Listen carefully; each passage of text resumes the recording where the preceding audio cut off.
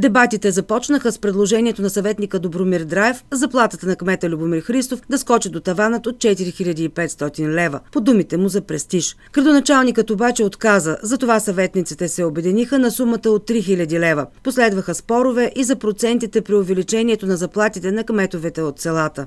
Заплат на малки населени места са заплат на големи населени места е между 200 и 250 лева. Сега с увеличението, значи ние паднахме под минималната заплата 545, минималната заплата 560. Смятате ли за нормално, че една разлика от 300-330 лева от най-малката и най-голямата заплата е резонно?